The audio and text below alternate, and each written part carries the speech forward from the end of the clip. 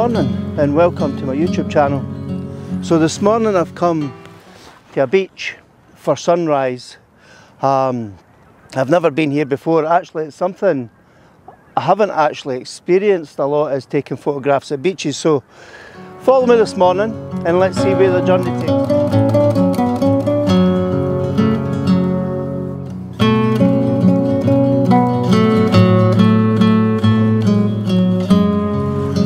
So before the sun actually rises above the horizon, I'm actually using my filters this morning. So I've got ISO 100, I've got a 5 second shutter speed and I'm at f11. But what I've also done is I've actually got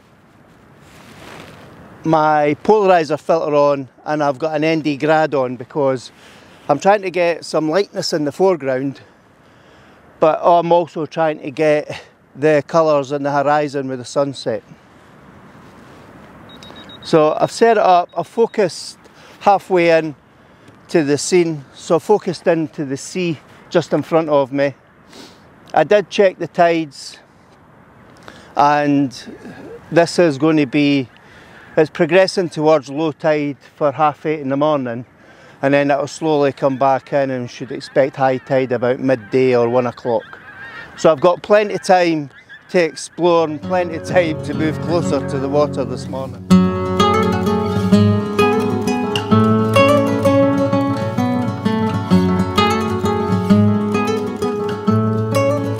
So what I'm going to do is I'm going to turn my camera over and I'm going to do a panoramic shot Again, I'm leaving all my settings as they are. I'm just going to lift the polarizer up a bit. Um, and I'm not quite getting a straight horizon here.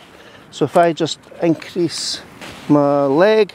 Right, so what I'm doing here is I'm putting, as I'm doing a horizon on the beach and because I'm standing on the dunes, I'm using the horizon of the sea and the sky as a centre line. So what I'll do is I'll take these images and I'll show you that image now.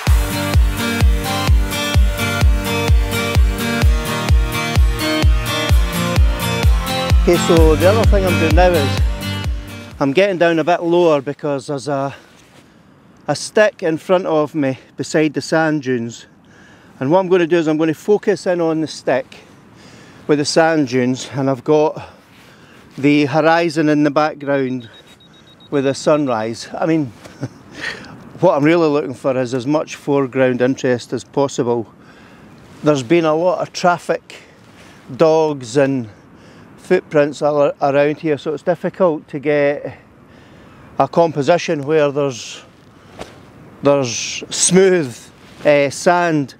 So what I'll do is I'll do a quick bracket exposure and get three images an underexposed, a normal exposed and then an over, overexposed just in case I need that extra light to help me lift uh, the foreground.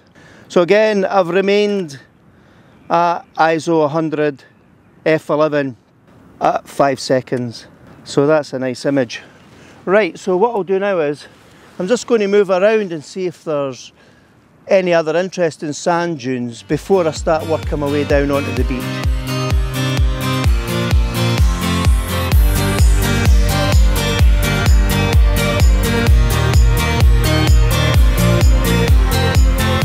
Alright, so I found this bit of driftwood here, it's more, like a big huge tree trunk.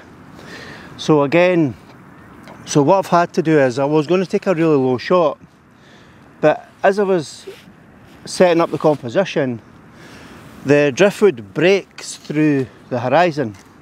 So when, it comes to competitions, that's, that's a no-no. So what I've done is I've heightened my tripod so that I've got the tip of the driftwood below the second horizon line. So I've got three horizon lines here. I've got the actual horizon with the sky and the water. I've got the beach in the water and then there's a ridge in the middle of the beach. So I've made sure I've positioned the tip of the driftwood below the third horizon line. So again, I'm speeding up the shutter speed. So I'm now at an eighth of a second, f11 ISO 100. I'll take the shot. I'm still using my filters because the sky's amazing. And I'm just looking further down to my right. There's a beautiful pinky sky down there. So I'm just going to bracket expose it because I want to get a brightish foreground so I can bring up the stumps in front of me.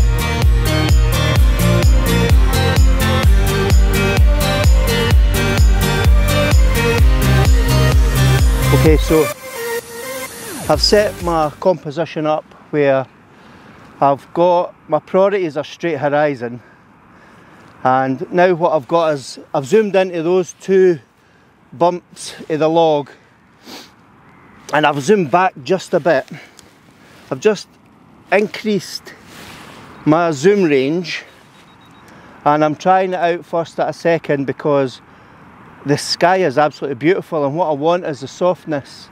What I can't avoid is all the, the footmarks but hey ho that's just natural and that's what's here. So what I've actually got here is I've got that log that's submerged halfway through and then there's another piece of driftwood up on the far right. So I kind of have a leading line that goes all the way left to right and then I've got the beautiful sky just above. So I'm going to do a quick bracket exposure again, just do three shots and just mi minimise the number of photos I'm going to be taking this morning. And then what I'll do is I'll zoom further into the scene because um, I've got those logs now as foreground interest. And I'll just lift the camera up, I'll zoom straight in, there's another log in front of me. I'm just trying to see, so the, what I can do here is if I put my hand in front of the camera, I'll do a, a landscape panorama because it is absolutely beautiful. So I'm just going to drop my filter down just a bit. I'll take that shot. I'll focus into the centre of the image, which for me is just the very edge of the sand to the sea line on the beach. I've got that small log as foreground interest and I'll take a third shot. Oh, the sky is absolutely amazing. I'll take the third shot. I'll put my hand in front and then that's that panoramic finished.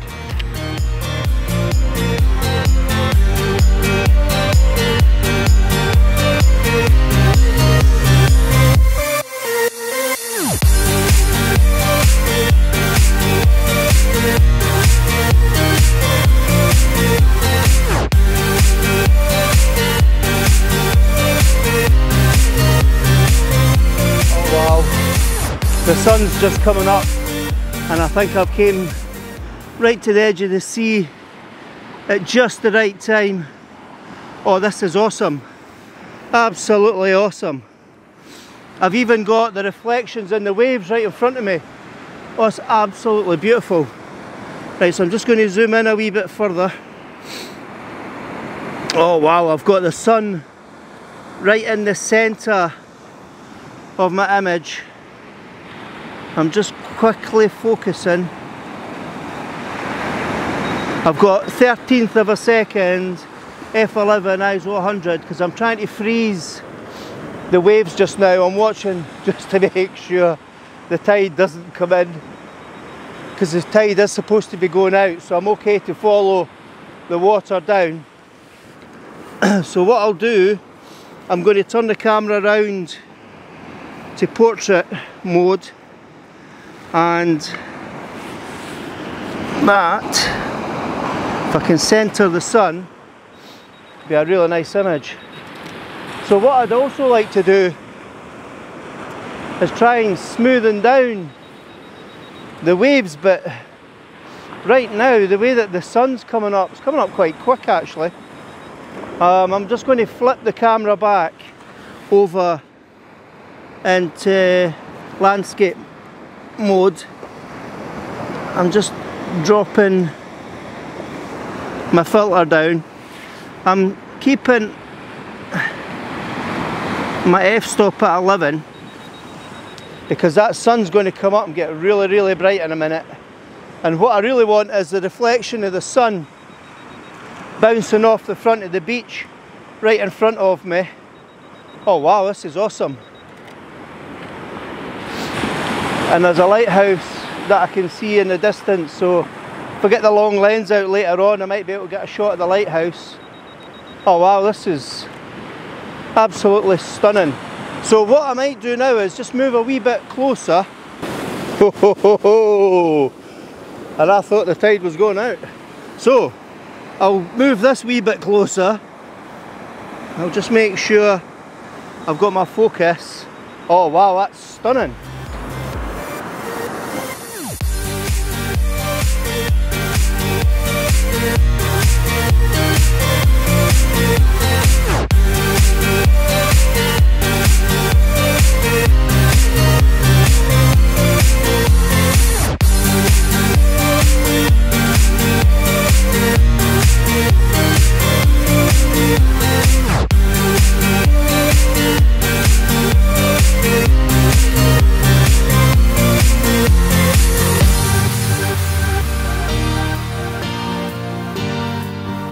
so I put the long lens on. So what I'm going to do is I'm just going to walk a wee bit closer and just see. I'm actually going to put the sun on the far right rather than in the centre of my composition. I'm just going to focus, make sure that my lens is set to stabilizer off. And let's see. Right so I've got some nice images here. Now what I'm going to do is increase my shutter speed. So I'll increase the shutter speed to 250th of a second. I'm going to have to drop my ISO sorry my f-stop to 2.8 and let's see if we can catch some sharp. I'm trying to get the wave out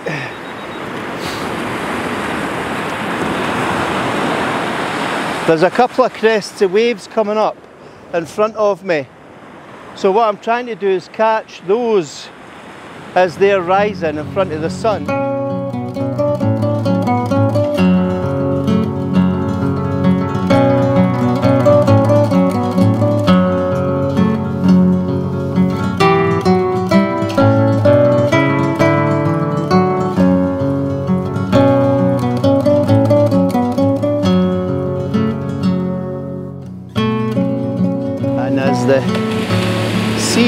creeping in. Right, I'm still on a fast shutter speed. I'm going to zoom in as far as I can because what I'm trying to see is where is the break in the waves and the water's coming in really close to me now. I'll just check and see if I'll move my filter down because I'm getting some nice light. I'm just watching for the waves breaking. Wow. See some real nice waves breaking beside me. it's catching them. Right, I'll tell you what, I'm going to go handheld. So stabilizer on, autofocus on. Um, just try to see if I can catch anything here. Oh wow. Right, so I'm just going to see if I can kind of lie down and try and see if I can get some of the the waves backlit.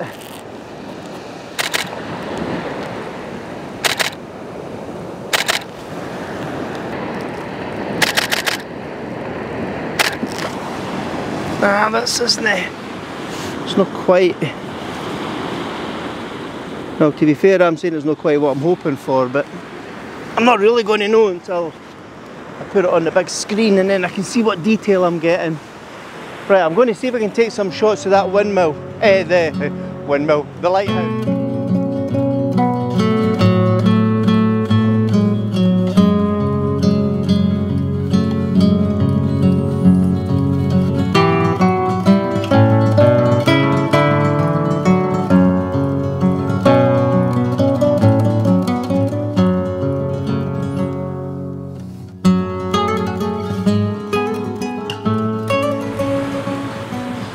Right, so I'm focusing in.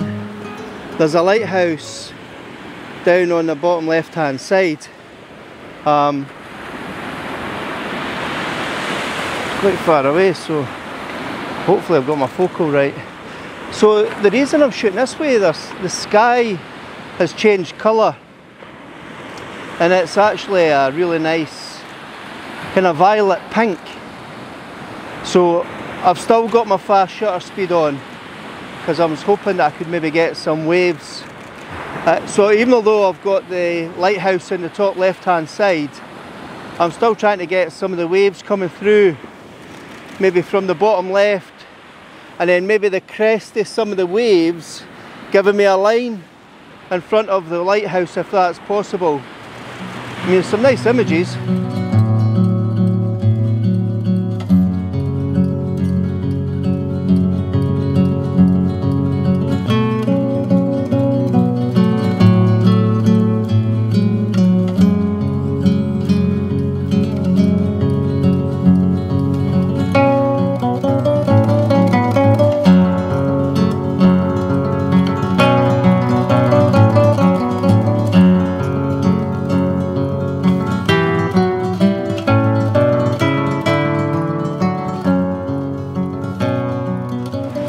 So I've switched back to the shorter lens, which in this sunlight is giving me a cracking uh, sky. It's really nice because the sky is really blue now. Um, I've got, because I'm using the filter, I've got quite a nice dark gradient, so I've increased my shutter speed to 30 to 30 second, eh, sorry, a 30th of a second f8 ISO 100. Tell you what is nice though, that sky down here is incredible. So with the wider lens, I'm kind of struggling a bit because oh, I've got movement again in the sand. So I'm just going to focus in on the centre, take a couple of shots, I'll drop my filter down just a bit. I'm trying to get a bright foreground because the sky is so soft. So the sky's now changed from a kind of pastel pink and violet now to a grey and a blue because the clouds are starting to come up from the horizon and it's actually really nice. So if I zoom out now, I've got a different perspective obviously. and I've got such a, a wide angle view here. So the other thing I've noticed as I've taken this photograph, there's a lot of texture in the sand to my right. So what I might do is take advantage of that. I'm going to zoom in, take advantage of it. I'll reduce the height of the horizon. I'm just going to lift the filter I'll need to recheck my focal point take a couple of shots. That's actually really nice so I speed up the shutter speed just a bit. Yep that's a nice shot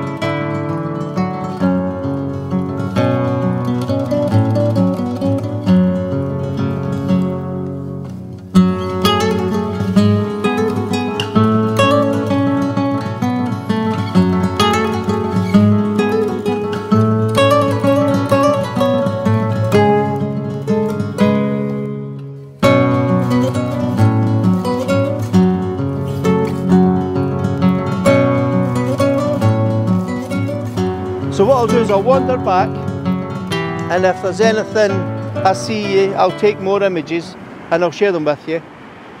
But if I don't, hopefully we've got a video out of this this morning. Real surprise, a really beautiful sunrise. I absolutely didn't expect it to be as gorgeous as it was. I did expect it to be cloudy or have some form of clouds and overcast. So thank you for watching.